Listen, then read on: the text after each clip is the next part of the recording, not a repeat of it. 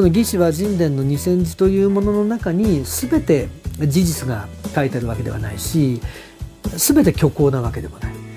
三国志の中で卑弥呼に関して気になることというのは真偽和王という称号をもらっているということなんですね。で異民族でありながら王号王っていうのは上に皇帝しかいませんので非常に高い称号なわけでしかも真偽っていうのはこれ義の国名が入っていますので黄金の中でもかなりこう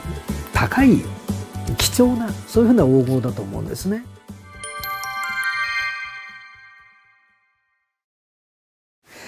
こんにちは、えー、早稲田大学の渡辺と申します。えっ、ー、と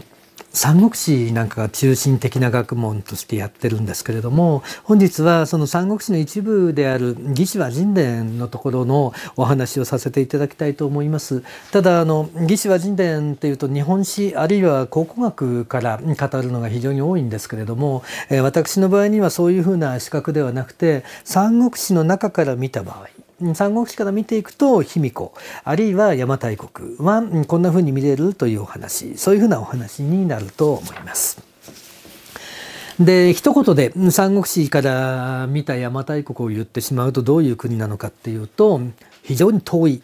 で遠くてでとっても南にある。でしかも大国なんですね。その遠くて南にある大国。それが邪馬台国。というふうなものになるんだと思います。で具体的にはですね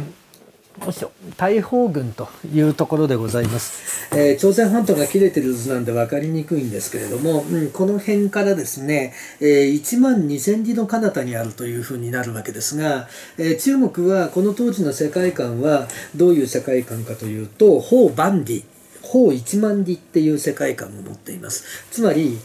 ここが中心、中心、世界の中心は落葉なんですけれども、その落葉というところから端までが全部5000。三角関数がねえなっていうのが分かってしまったと思いますが、えー、真ん中から端までは全部5000なんですね。ということは、一辺が1万なんですね。一辺が1万の四方で囲まれているものが中国であるという考え方が法万里という説でございます。で、そのですね、1万里で囲まれているところのここの北の一辺にこうやってペーっと城があるので万里の頂上というふうに呼ばれるわけでございまして万里の長城って言葉そのものはまだ三国時代にもなくて、えー、5世紀の僧侶っていうものに初めて出てくる言葉でございますつまりこっからここまでが1万里なんですここからここまでが1万里というふうな形になっている時にここから1万2000里というところにあるわけですから当然この辺になってしまう、えー、わけでありまして、うん、遠いぞということが分かります。それからこの辺ですね、どこにあるのかっていうと、それは、うん、海警軍のですね、東野というところの海海上のところにあるんだと言ってるので、この辺からこういうところにあるわけですね。そういうふうなことになりますので、だからものすごいこう南にあるとえいうふうなことがわかります。で、しかもこの邪馬台国って大体あの、方5000里って考えられてるんですね。そうしますと中国が方1万里でございますので、こんなにあるわけでありましてかなり大きな国だということになります。人口も多いんです。人口はですね75万になりますのでもう大国と言っていいと思います。でそんな風なイメージがどうしてこう作られていくのかっていうこと。それが私の関心というものの中心になっていくということになります。で、その邪馬台国というものがですね、どこに書かれているのかというふうに申しますと、えー、三国志の牧三十、えー、東夷伝というものがありまして、その東夷伝の中の和人の城というものが日本でいうところの義士和人伝というものでございます。で、うん、三国志全体が37万字ありますので、えー、2000字しかありませんってことは、まあ、すごい 0. 何パーセントの世界0点じゃないですね、えー、ちょっとしかないわけですね。でそういうふうな部分っていうものなんですけども実はこの2000字というふうなものしかない、えー、和人というものが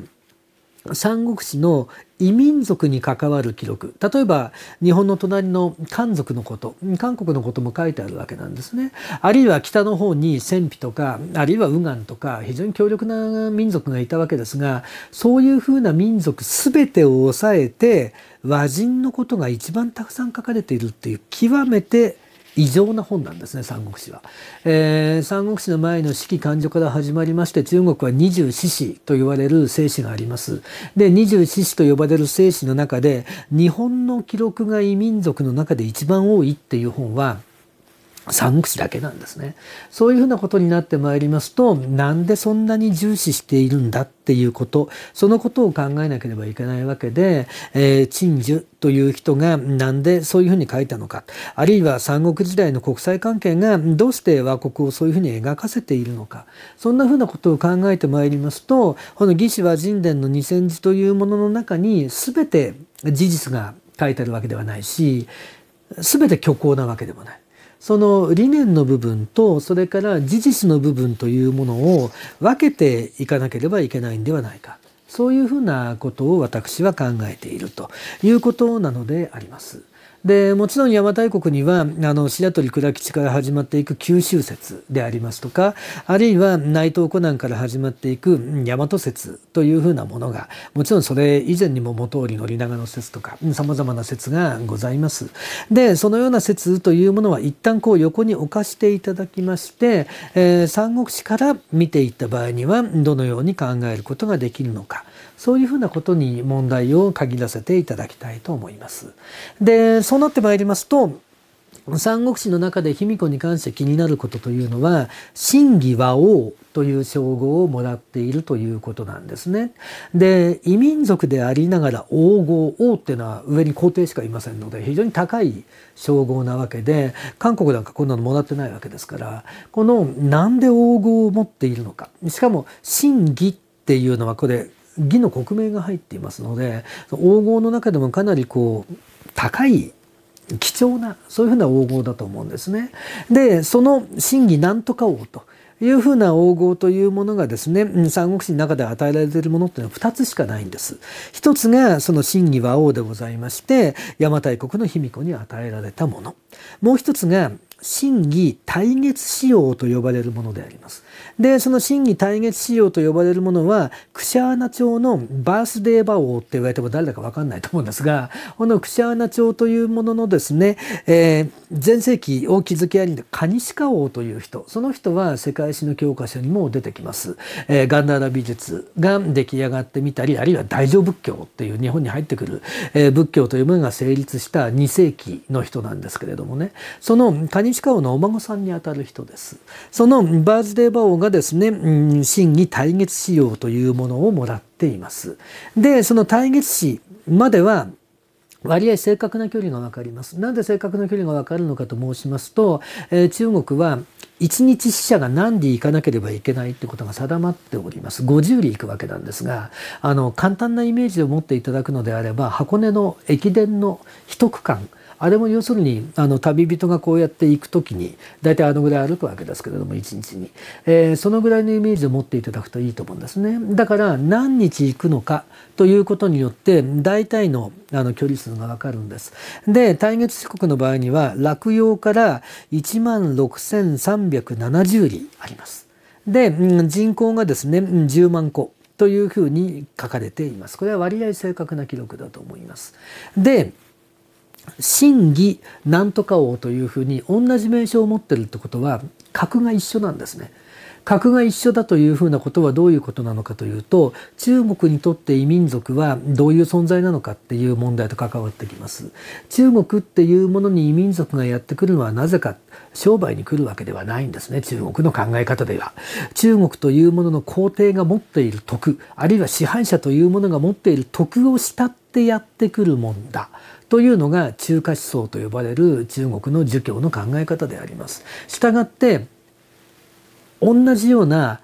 格を与えるということはその国家同士というものが同じような重要性というものを中国に対して持ってなければいけないししかもその距離あるいは国の大きさそういうふうなものも釣り合っていなければ本来的にはおかしいわけです。そのように考えて三国志を見てまいりますと先ほど申しましたように邪馬台国っていうものは大砲軍から1万2,000里。で落葉軍で中国の恥なんで落葉から5,000里でございます。つまり足し算をすると落葉から1万7,000里。櫛穴町が1万6,370里でございますから櫛穴町よりもちょっと遠くから来てる。これから人口が15万戸と申し上げました。で櫛穴町が10万戸なんで櫛穴町よりもちょっと大きな国ということになります。なんでそのような形で日本を書かなければいけないのかと申しますとこの対月四国というものが何で、えー、中国にやってきたのかと申しますとちょっと地図を見ていただきたいわけでございますけれども、えー、対月四国というふうにあの世界史なんかで習う対月四国はクシャワナ族が独立する前の国家なんですけれども中国ではクシャワナ朝と対月国ほとんど同じ呼び方になっています。でそのクシャワナ朝というもののこっち側ペルシャのところにササン朝ペルシャってのが出てくるんですね3世紀になりますと。でそのササン朝ペルシャというものにこう圧迫されていきますで最終的にササン朝に滅ぼされちゃうんですねそういうことなのでクシャナ朝といたしましてはこっち側のでっかい国に死者を出して力を借りたいというものがございます。あるいはせめて挟み撃ちにされないようにしたい。そういうことがございまして死者をこうやって出したわけです。でその時にこの辺りに外帝とか長安とか五条元とか書いてありますがこの辺りに似たものは諸葛亮がいるわけなので当然その諸葛亮と戦っていた人がいてでその時にはまだ芝居ではなくて宗信宗人が戦ってたんですね。でこの宗信という人がこの人の死者を連れてきたことになるということは宗信の功績なんです。でこの宗信という人この人の息子、えー、そうそう爽やかなそうという字を書きますけれどもその人が芝居芝居中達の性的になっていく人なんですね。そしてその芝居という人その人が